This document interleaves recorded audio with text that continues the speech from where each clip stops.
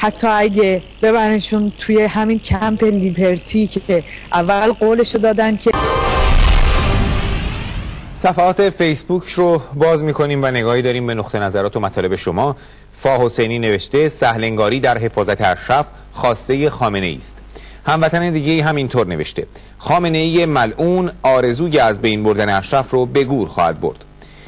دوستانی هم زیر کلیپ آخرین سخنان مجاهد صدیق محسن دگمچی در زندان گوهردشت کرج محل شهادتش. نکاتی رو نوشتند که برخیش رو براتون می‌خونم. گلکو نوشته محسن دگمچی که تنها جرمش داشتن یک فرزند در اشرف بود در زندان دچار بیماری سرطان شد و آنقدر تحت معالجه قرار نگرفت تا زجر شد. این ویدئو در زندان از او گرفته شده که نشان می‌دهد به سختی نفس می‌کشد. و حرف می‌زند. این بهایی است که اشرفی ها و خانواده هایشان دارند می‌پردازند. دنیا جمع نوشته راحت تا آزادی ادامه خواهد یافت. و آریا هم نوشته درود و بی نهایت درود بر ارواح پاک این عزیز باد. امیر کارگر تصویری از یک مزدور بسیجی گذاشته و زیر اون نوشته عجبا دکتر الله کرم دکتر محسن رضایی دکتر تیریتا پارسی دکتر علیرضا نوریزاده دکتر احمدی نژاد دکتر و چند نقطه شعری رو هم در مورد همین به اصطلاح دکترها در نظام آخوندی نوشته که چند بیتش رو براتون می‌خونم. در نظام جهل هر کس پشم دارد دکتر است. گر که یک دکتر بیارد بر زبان نام قیام او خائن است. آن که بهر کشتن او می‌کشد تیغ از نیام او دکتر است. آن که از آزادی نامی بر زبان میآورد او مفسد است. آن که چشم این چنین انسان برون میآورد او دکتر است. آن که بارد سرب داغ بر لاجوردی یاغی است. لیک آن جلاد که کشت ده ها هزاران دکتر است. خود فروخته است هر تخصصدار در علم و هنر بی سواد پاسدار بر ضد تخصص دکتر است. زیر یک کلیپ در مورد اعدام عاطفه دختر 16 ساله موره گودرزی نوشته میبایست به طور پیگیر و مسئولانه پرونده جنایت علیه بشریت حاکمان تهران در مورد قتل عام زندانیان سیاسی در ایران پس از سی خرداد 60 و تابستان 67 را گشود تا مجامع بین المللی از حاکمان جنایتکار ایران بخواهند در این مورد پاسخگو باشند. مهناز هدایتی نقشه ایران تحت حاکمیت آخوندها رو کشیده که با سیم خاردار و دیوار چین به دو قسمت تقسیم شده و نوشته طرحهای تکمیلی تفکیک جنسیتی. قدیر هاشمزاده هم تصویری از احمدی نژاد گذاشته که در آلمان روی سد ها گذاشته شده و نوشته آشغالی در آلمان برلین فاشیست دینی و جلاد با بمب اتم. نه مرسی. خامنه ای ملعون برو نخور دیگه خون. خامنه ای ملعون برو نخور دیگه خون. اگه تو زودتر می‌رفتی شهر تو کم می‌کردی. هیچ چیزی کم نداشتی ما دیگه غم نداشتی.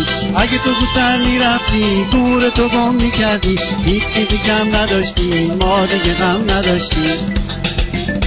برو برو نری. زود میشی آخر. برو برو پشیمون میشی آخر. برو برو پریشون آخر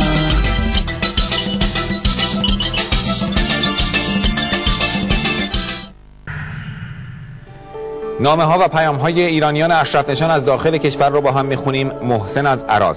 سلام دارم خدمت تک تک اشرفیان قهرمان.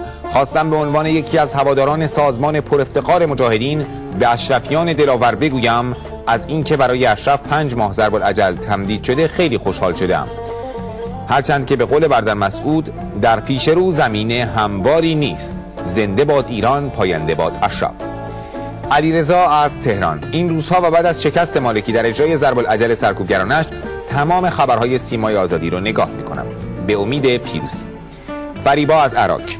این روزها خیلی از مردم دنبال خبرهای اشرف هستند از طرف دیگه مردم خیلی از رژیم ناراضی هستند همه می‌گویند این رژیم با این کارهایش به پایانش نزدیک شده و همه دنبال آزادی هستند. البته همه هم می‌دونن که آزادی رو توی سینی طلایی نمی‌گذارن تقدیم کسی بکنن. باید براش قیمت داد. سعید دانشجو از تهران. این روزها رژیم در ماکسیموم تلاشه که بتونه با ایجاد هر مانع و کنترلی جلوی اومدن مردم و جوانان عاصی رو به کافینت ها بگیره یا کافینت ها رو تحت کنترل خودش قرار بده. اما به هیچ وجه موفق نبود. خیلی بچه ها از همین طریق به سایت های مقاومت دسترسی پیدا می‌کنند. اون چه من می‌دونم مجاهد به معنی گذشتن از همه چیز برای آزادی شهامت و لیاقتی را می‌خواهد که در همه ما هست. فقط ایمان و اعتقاد قوی و تقوایی می‌خواد که می‌تونه عامل رهایی بخش باشه. امیدوارم با پیمودن هرچه بیشتر راهی که اشرفیان مشخص کردن و من درش هستم هم تئوریک هم عملی به رهایی از قید و بندها نائل بشم. با آرزوی سلامتی اشرفیان. محمد از کرمان. می‌دونم که اشرفیان چقدر تلاش می‌کنند و تا جایی که من اشرفیان و این مقاومت رو شناختم مرد و زن عمل هستند تا حرفهای فلسفی و روشنفکری صرف. من باید بگم که آدم مذهبی نیستم و اعتقادات دینی ندارم. اما آنچه می‌توانم بگویم و به آن باور دارم همانطور که مبارز انقلابی شهید خسرو گل سرخی در مورد مولا حسین شهید بزرگ خلقهای خاور میانه گفت انما الحیات عقیدتون و جهاد. یعنی این عقیده و جهاد هست که انسان را می‌سازد و سمبل این انسان ها هم به درستی فقط در اشرف و اشرفیان هست و بس.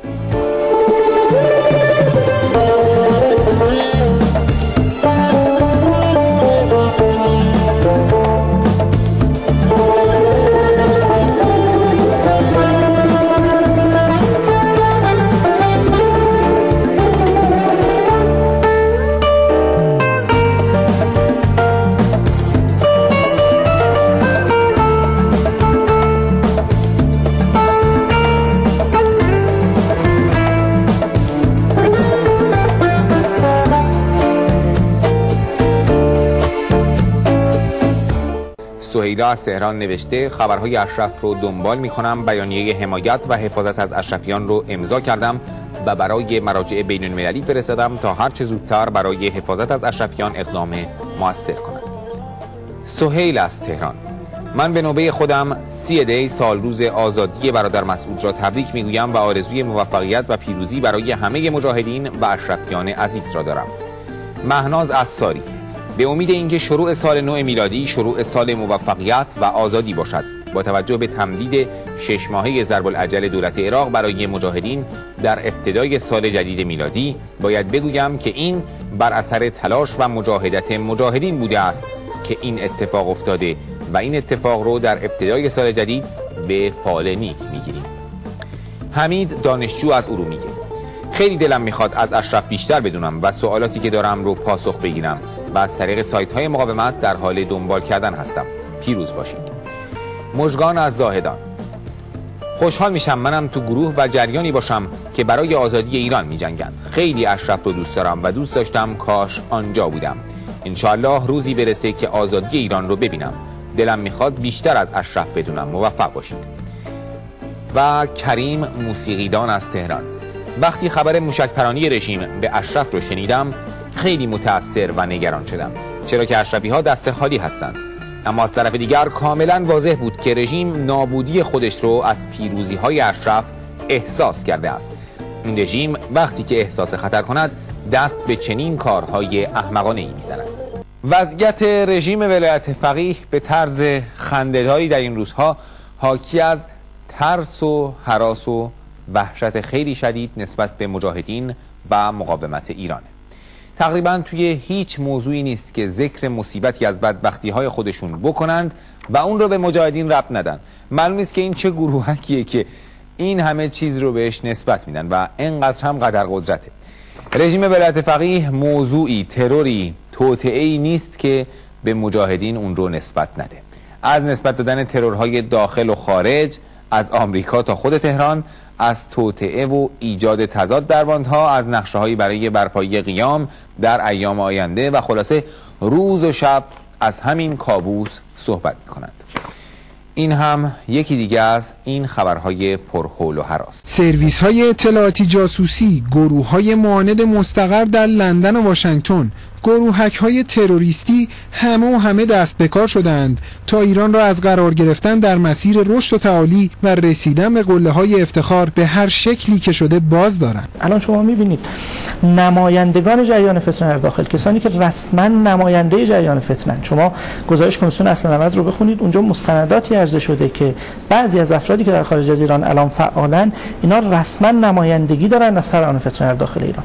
اینا میرن کنار کی میشینن؟ کنار منافقین میشینن کنار پژاک میشینن کنار نمایندگان گروه ریگی میشینن. نفوذ شدید بهاییت در این شبکه ها نفوذ شدید منافقین و سرویس های اطلاعاتی. این بقیده من نشون دهنده اینه که آمریکایی ها یه تقسیم کار انجام داد.